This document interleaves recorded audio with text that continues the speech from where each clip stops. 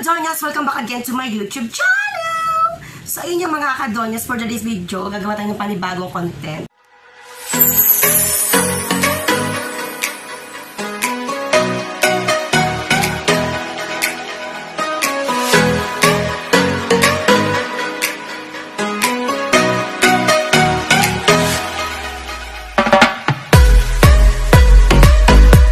Mag-subscribe ka ba? O jujuwain kita? Charot!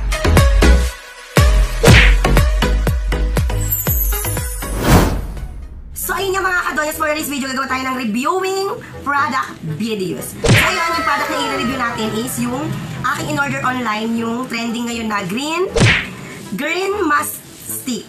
Yan. Green mask stick. Ay, charot! Ayun yung mga kadoyas, i-review natin siya kung ano yung effect niya sa face lock natin. Total, marami tayong mga anik-anik sa mukha. Ayan, nakikita nyo, hindi tayo perfecto. Ayun na, diba? Bawal bu- bullying. Charot!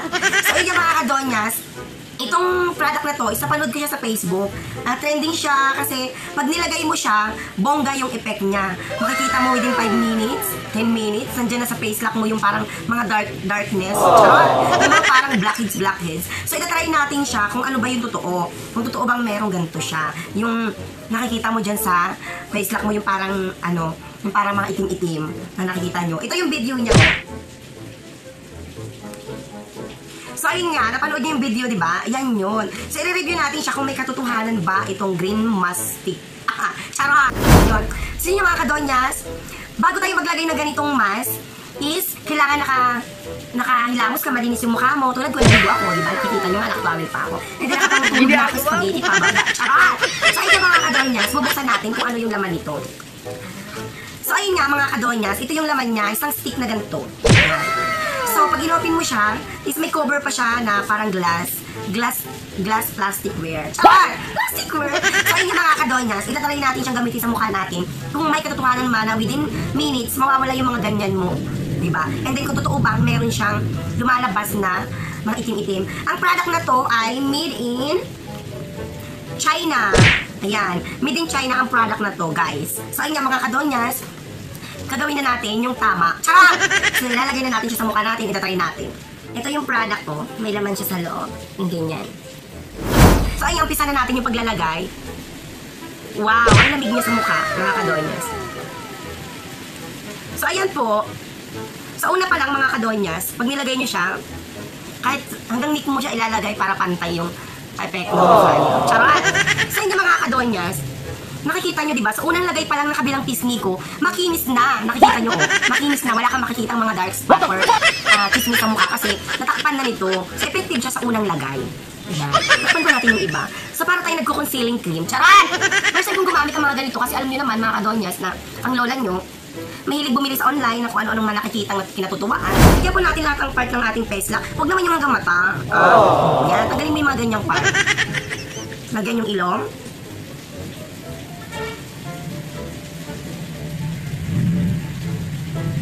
Titingnan natin kung gaano ka-powerful yung product na to. Kailangan pag may mga nilalagay kayo sa mukha, kailangan linisan nyo muna yung mukha nyo. Hindi basta lang kayo lagay ng lagay, na parang wala kayo alam kung anong kainat nan. Lahat ng part na gusto nyo gumanda, lagyan nyo para makontento kayo. Alam niyo mga kadonyas, ang bili ko nito, nasa ano lang to, ah, uh, worth 40,000, 40,000, charot. Nasa ano lang to, bili ko nito, nasa 48 pesos lang po siya sa isang online shop.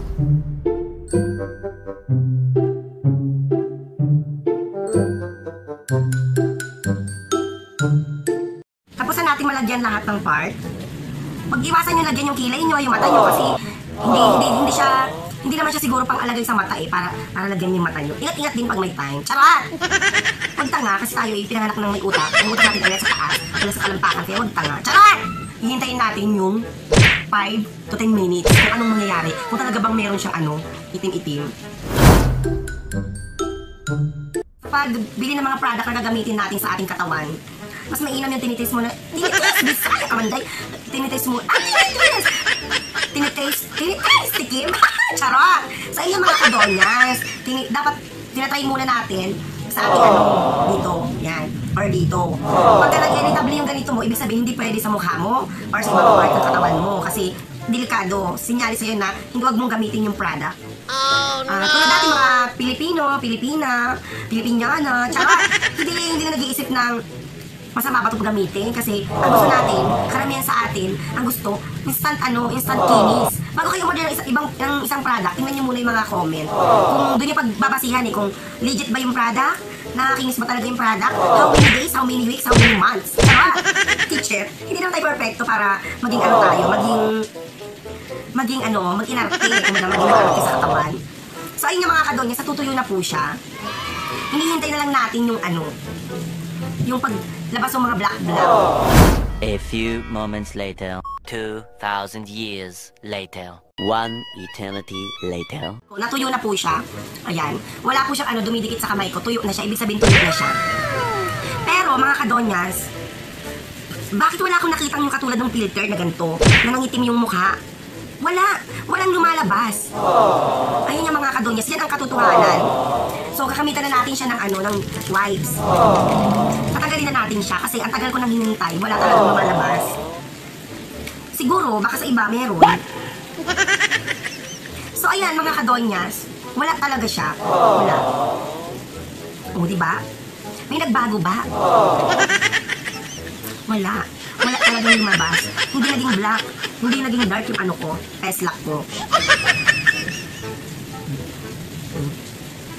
Wala. So, akala ka ba kikinis? Bakit nakikita ko pa rin yung mga ano ko? So, ayun mga kadonyas ha. Almost 15 minutes ko siyang binabad.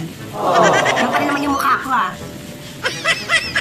Asan ang hustisya? Ha? Walang pagbabago. Ayan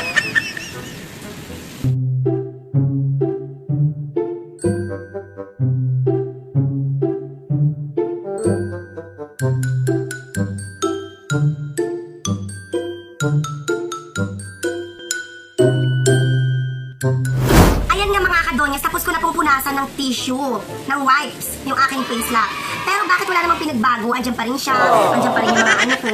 Ayun nga, nakakalungkot, nakakalungkot talagang sabihin, isipin, na yung binili mong product online at nanimala ka dahil gaganda ka within minutes, wala akong nangyari. Isang malaking scam. Isang malaking Charot! Isang malaking scam ang masasabi ko. Hindi totoo ano man yung nakikita natin doon na keme-keme sa mukha, ano yung malabas. Hindi, wala!